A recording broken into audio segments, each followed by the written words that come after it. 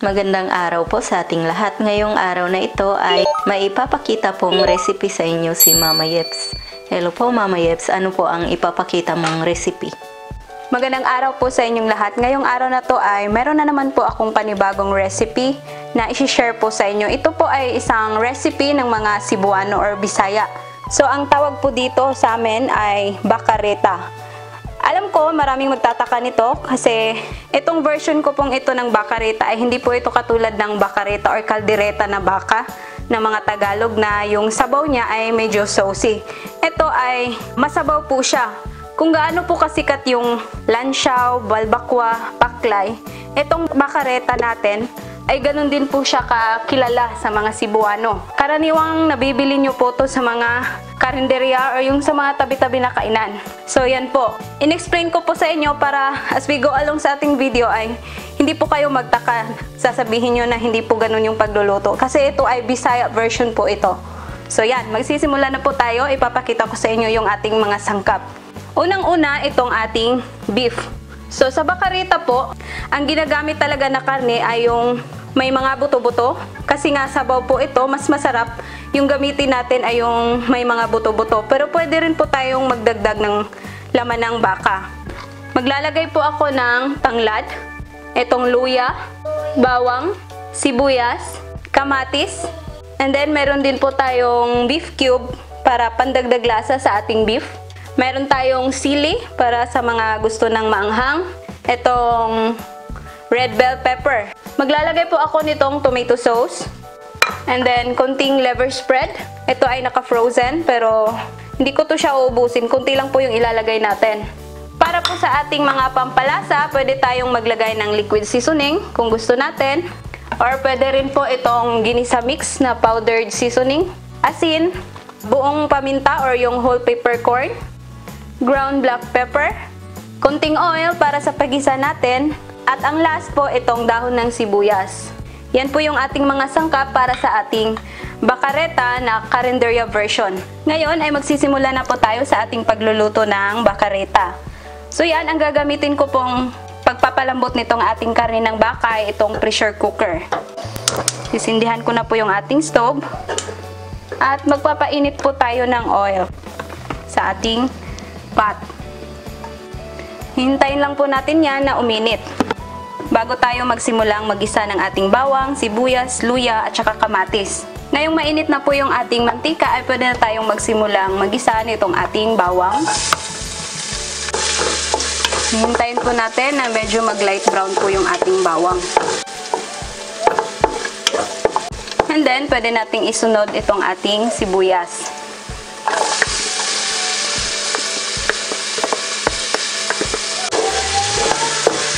Sinadya ko po talaga ang damihan ng sibuyas kasi para mas lalong malasa at masarap po yung ating sabaw ng ating bakareta. Lulutuin lang din po natin ng konti yung ating sibuyas. At saka itong ating luya ay talagang didikdik ko po talaga yan para talagang lalabas yung kanyang katas at malasang malasa po yung ating sabaw. Medyo luto na yung ating sibuyas, isunod na po natin itong ating luya. Yan. Itong bakareta natin ay para lang din po tayong nagluluto nito ng balbakwa. Yung kaibahan lang ay naglalagay po tayo ng tomato sauce para pampakulay sa ating sabaw. At saka yung lasa niya ay medyo may kunting asim. Pero yung consistency ng kanyang sabaw ay parehong-pareho lang po sa balbakwa. Ngayong medyo nagisa na natin yung ating luya, isunod po natin itong ating kamatis.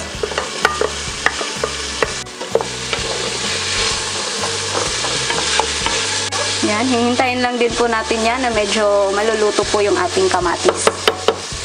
Yung beef pala natin ay eto, tinanggalan ko siya ng bone marrow. Pero kung nasa Pilipinas lang po kayo, napakasarap din po na ihahalo nyo yon kasi alam naman po natin na yung karne natin sa Pilipinas ay talagang organic. So, walang problema po kahit ihahalo natin kasi yun po talaga yung nagpapasarap sa karne ng baka.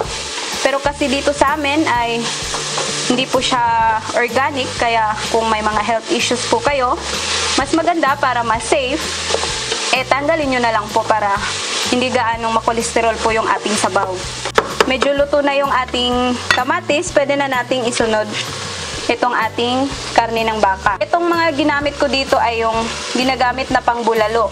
Or pwede po kayong gumamit ng yung ribs. Basta yung mga may buto-buto para talagang malasa yung sabaw. Pwede rin po yung buntot kung meron po. Sobrang sarap din po nun pag yun yung gagamitin natin.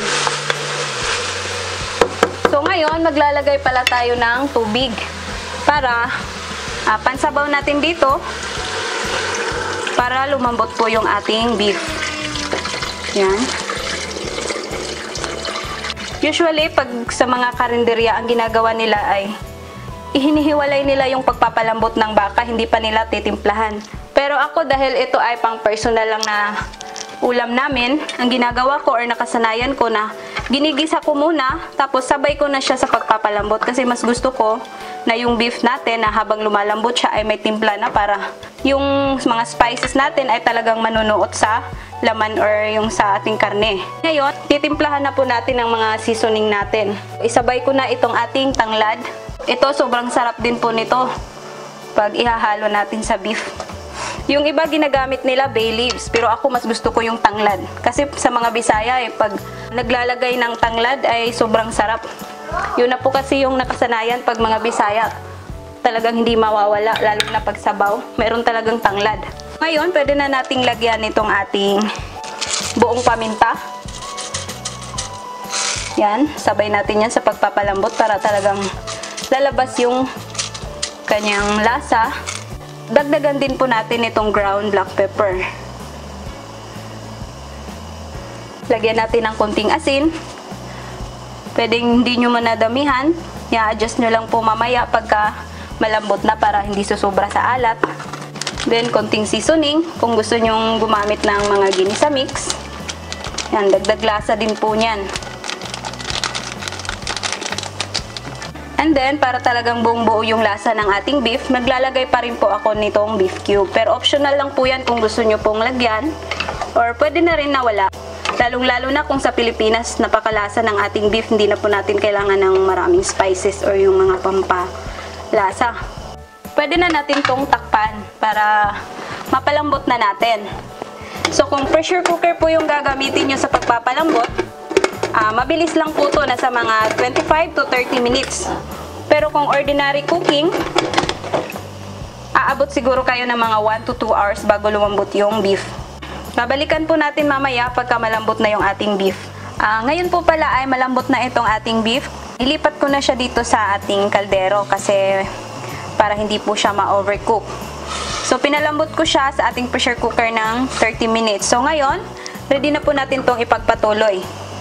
Dito sa ating liver spread, kukuha lang po ako dito ng mga 1 tablespoon. Lalagay po natin. Pero kung ayaw nyo pong gumamit ng liver spread, kung uh, meron pong bawal sa inyo, pwede rin po na hindi nyo nalagyan. And then yung sabaw pala natin, kung medyo kumonti yung sabaw, pwede tayong magdagdag. So dahil itong bakareta ay mas masarap pag maraming sabaw, so dadagdagan ko po siya ng sabaw. So, depende na po yan sa inyo kung gaano kadaming sabaw po yung gusto nyo.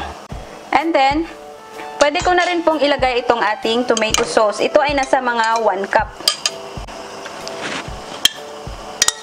Pwede rin po kayong gumamit ng tomato paste. Maganda din po yun para yung sabaw natin ay talagang makulay, hindi siya maputla. Pero kung wala, okay lang pong gamitin kahit tomato sauce. Paghalo-haluin muna natin para matutunaw po yung ating mga nilagay. Napakasarap po nitong lutuin lalong-lalo na sa mga kababayan natin na nasa ibang bansa. Pagka papalapit yung winter time or yung malalamig na panahon, napakasarap po nitong higupin. Hihintayin po natin yung kumulo para talagang matutunaw yung ating tomato sauce at yung ating liver spread. Pero, ilalagay po muna natin itong ating sili. Yan. Depende na po sa inyo kung gusto nyo ng masyadong manghang, pwede nyong dagdagan ng sili. Or pwede rin po na tsaka nyo na ilalagay pag sa last na para hindi gaanong aanghang. So yan, tatakpan ko po muna yan para kumulo. Ngayon po, balikan na po natin itong ating nilutong bakareta. So yan, kumukulo na po. Ngayon, tikman po natin dahil nagdagdag po tayo ng tubig kanina. So, para ma-adjust natin yung kanyang lasa. Ah, medyo matabang siya kasi nagdagdag tayo ng tubig. So, pwede tayong magdagdag ng konting asin. At saka itong ating liquid seasoning. Or pwede rin po kayong gumamit ng patis kung mahilig kayo sa patis. Haluin muna natin. Ito po yung sinasabi ko sa inyo na masabaw po itong bakareta. Para po talaga siyang yung sabaw ng balbakwa. Alam niyo po ba na itong bakareta ay pinipilahan po to ng mga tao. Kasi dito, napakasarap po ng sabaw niya. Tapos yung sa mga karinderya, pwede pa po kayong humingi pa ng extra na sabaw kung gusto nyo pa. Kaya perfect na perfect po itong lulutuin nyo pagka malamig yung panahon. Kasi masarap pong humigop ng mainit na sabaw. So ngayon, ilalagay ko na po itong ating red bell pepper. Haluin lang natin. Ito ay parang katulad din po ng balbakwa. Masarap din po itong i-partner natin sa kanin na mais. At saka yung tinatawag naming ginamos or yung anchovy or bagoong na isda. So yan, napakasarap din po nitong i-partner nun. Tapos lagyan natin ng kalamansi at saka yung maanghang na sili. Nako, perfect na perfect po. Ang last po na ilalagay natin itong spring onions or yung dahon ng sibuyas. Yan. So, pwede na natin tong patayin yung ating stove kasi ready na po ito. Pwede na nating iserve.